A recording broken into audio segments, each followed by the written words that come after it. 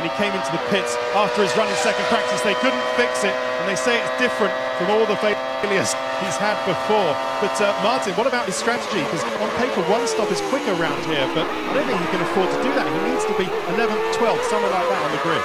Yeah, I don't think he'll be able to overtake cars fast enough if he loads himself up with fuel. So I would imagine he'll try and go as fast as he can, minimise the pain of the 10th place drop, expecting this to be a high 1 minute 20. I think he's the one who can break into the 120s. He's got to be a lot of anger going on in this uh, cockpit. It's an identical situation to Magny-Cours and to Silverstone. Back-to-back -back races in July where he had an engine penalty in qualifying. On both occasions he came through to finish on the podium. Here he has to come through tomorrow to win this Grand Prix.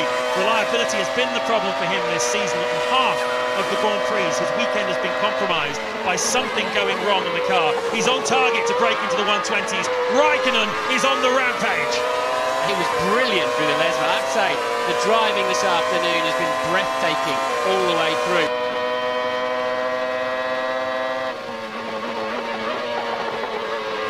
Raikkonen just brushing the gravel out of the way with the sidewall of the tyre.